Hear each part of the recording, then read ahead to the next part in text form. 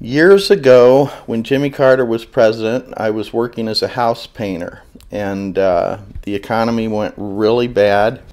And uh, everybody, when the economy goes bad, everybody becomes a house painter. If they've got a ladder and a station wagon, they're a painter all of a sudden. So work got thin, and the guy I was working for said if I wanted to stay busy, whenever someone asked me if I could do a job, no matter what it was, just say yes and then figure out how to do it.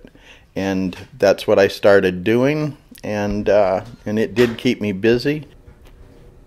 Basically, what I do is remodeling, um, maintenance type work, lots of handiwork. Uh, I'm very good at a lot of things, marginally good at a few things. I know guys in the fields that are very good at everything they do. So if something's a little bit more involved than what I want to do, then I know someone I can call. But uh, basically, I fix things, houses, buildings, that sort of thing. Yeah, just we'll we'll go with handyman. I like to prefer a genius, but but I'm a handyman, a good one. I wish I had a different retirement plan because right now my retirement plan involves the lottery or daisies, whichever comes first. so my my grandfather worked right up till he died.